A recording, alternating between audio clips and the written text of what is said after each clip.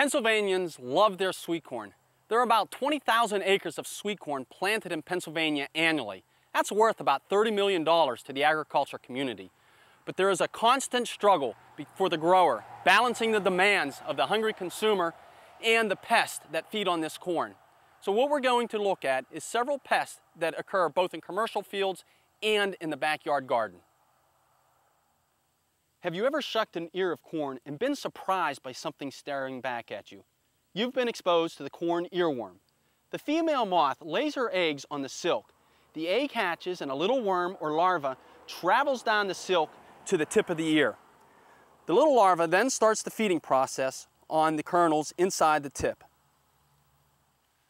The corn earworm does not overwinter in Pennsylvania, but growers have a valuable tool to help them determine when the pest comes into their field.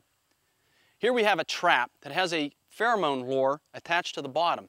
This attracts the moths to the trap and gives an indication when they are present in the field. At that time, the growers can apply a pesticide.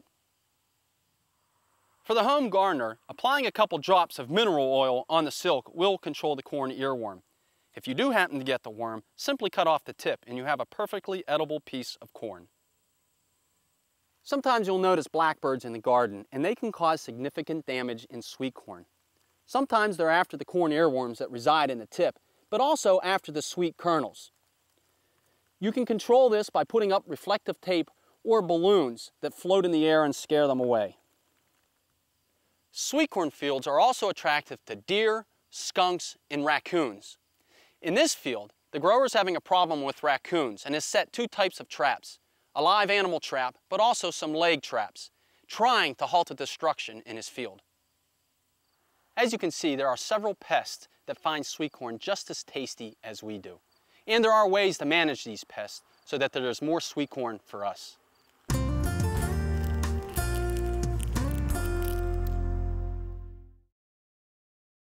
A copy of the program you've just seen can be purchased through Penn State Media Sales at mediasales.psu.edu or by calling 800 770 2111.